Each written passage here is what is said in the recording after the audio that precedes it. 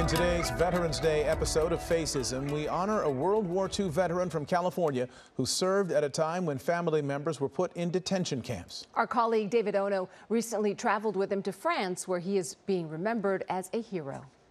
Let's go back to a time when our country was fighting for survival against truly evil forces. World War II gave us some of the most difficult yet greatest lessons in history.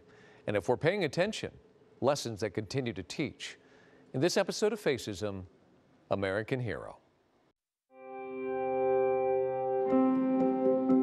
Flying over the Vosges Mountains of eastern France is a stunning sight. Inside the dense forest is a remarkable story, and to find it, follow this vehicle. On board, people in uniform, and a man with a giant smile. His name is Lawson Sakai. When Lawson comes to visit this picturesque village of Bruyères, they celebrate. There are parades, and he leads them.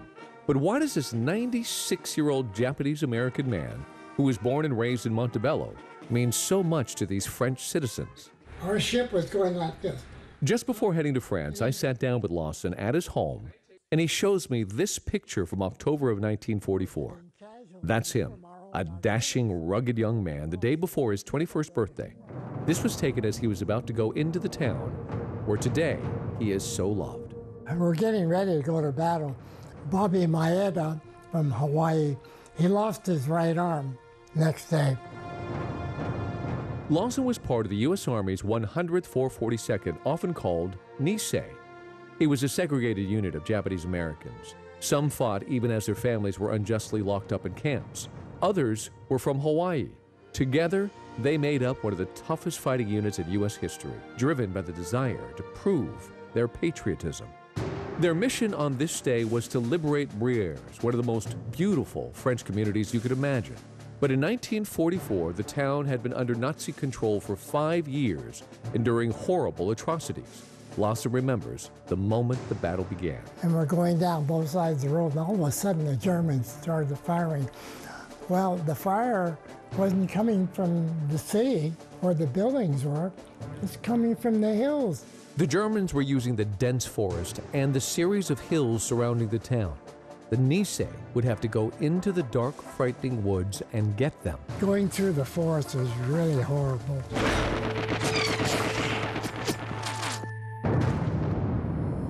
German artillery was adjusted to explode at the top of the trees.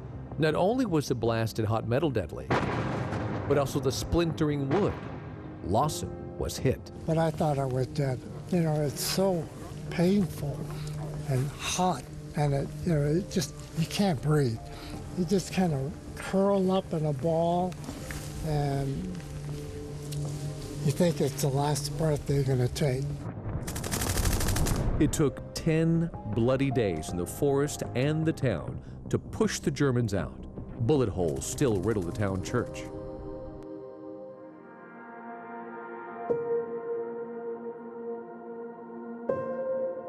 The price was tragically high. The Nisei lost so much in that forest.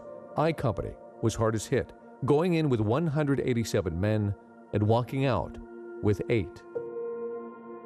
Epinal Cemetery, just a short drive from Bruyères, is where so many American heroes are laid to rest. Two brave men defied the Air Force orders, tried to fly their planes to the moon. Unfortunately, he lost his life. In the 10 times Lawson has been back, he's always made it a point to visit his friends who never came home.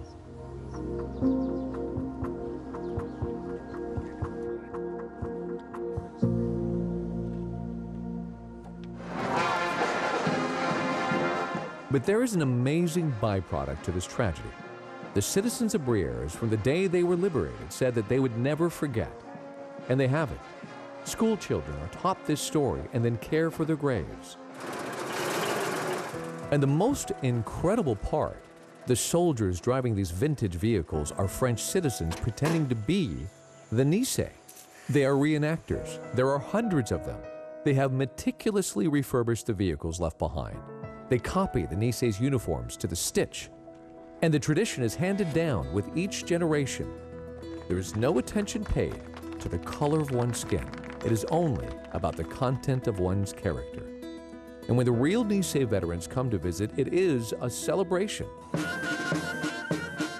But as the years go by, our heroes have disappeared.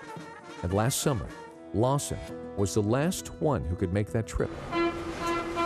And as he pulls away and waves and blows a kiss goodbye, this would be his last trip too. Lawson passed away earlier this year, and with that, we lost one of the biggest smiles and greatest representatives of this amazing group of heroes. But as we fly over this beautiful place, the lessons live on courage, gratitude, love, unity. Even though most in our country have never heard this story, for this community, it will forever be part of who they are. So Lawson was special because he was one of the few willing to talk about those difficult days in World War II. So many kept it to themselves. But Lawson taught us about the prejudice they endured, as well as the courage it took to persevere. He's a dear friend, an invaluable member of our community, and he will forever be missed. But mm. being able to talk about that taught us so much about that era that so many people just kept it to themselves. Yeah. And that's why he is such a valuable person. Yeah. Hello, I'm Mark Brown. Get more great ABC7 content by clicking the subscribe button for our YouTube channel and download the ABC7 Los Angeles streaming app on Fire TV, Android TV, Apple TV, and Roku to watch on your TV.